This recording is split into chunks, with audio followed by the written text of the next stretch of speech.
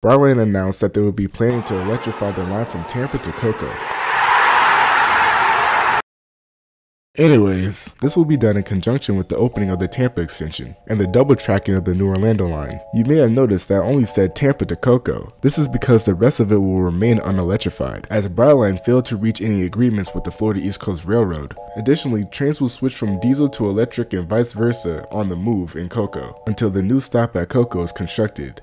That's right, a new stop at Cocoa will be constructed. Lord have mercy, I'm about to bust. The station will most likely use a single island platform with a pedestrian bridge to go over the Florida East Coast Railroad trackage. But I don't know, that's just my prediction. Now you may be wondering, what is Brightline's rolling stock going to look like? Brightline announced that they will be ordering 20 Siemens Venture APVs. APV stands for Auxiliary Power Vehicle. These rail cars will look exactly like Brightline's current Siemens Venture cars, except that these come with a pantograph on top and two powered trucks. Brightline's APVs will operate at 20 25 kilovolts AC. The pantograph will feed four traction motors in the car, with the DC link cable leading to the two locomotives. This means that under the electric territory, the diesel locomotives will be running on complete electricity. Those of you who are familiar with the Amtrak Airo know that this is the same technology that Amtrak is going to be using on the Northeast Corridor. The added APV will bring Brightline's consists to 8 cars, so the consists will look like this. The 4 original Siemens Venture cars, 3 in Smart Class and 1 in Premium, the 3 new Venture cars that will be added to the consists once the Orlando line is up and running for a while, 2 in Smart Class, 1 in Premium, and then the added APV. Brightline hasn't announced the configuration for the APV, but my guess is that it's going to be another smart class. Of course, with the APVs, the Siemens Charger locomotives will have to be upgraded, but I'm sure they'll just use whatever technology the Amtrak Airos are using. Poser says, Bro, if your mic was better, I guarantee your channel would blow up.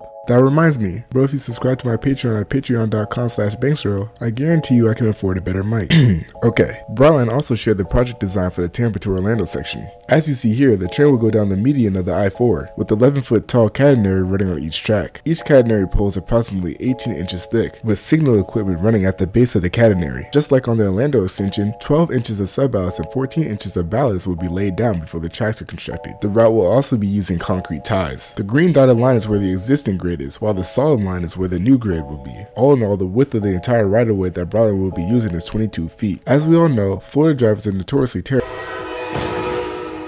We begin tonight with frightening video of this very close call. A Brightline train crushing a car this afternoon in North Miami. Spectators watching in disbelief as the SUV stopped on the tracks and the family inside quickly making their way out. Notoriously terrible at driving. Notoriously terrible at driving was what I was going to say. So Brightline decided to go with 12 foot fences and walls along the right of way. The shoulder of the interstate will also be extended by 2 feet. This way there's no possible way, right? No possible way we're going to see any Florida drivers on the right of way no possible way they're going to make it onto the train tracks. Right, Florida? For nearly 20 seconds, it was a wrestling match between man and gator. Richard, with what appears to be a cigar in his mouth the entire time. Right. Where even was I? Oh, yeah.